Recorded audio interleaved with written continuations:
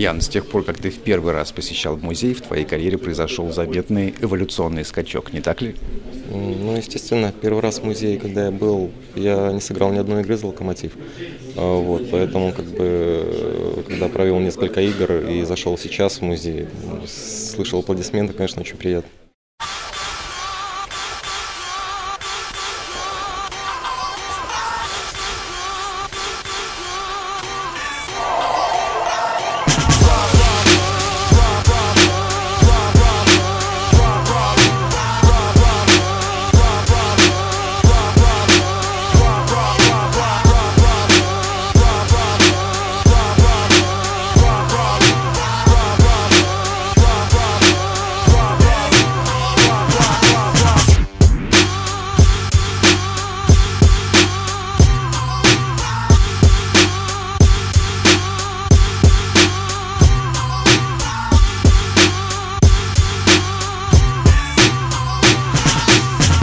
Мы стоим на фоне экспозиции с э, фотосессией. Как тебе в целом идея календаря, может быть, образы твоих коллег по команде тебя чем-то заинтересовали?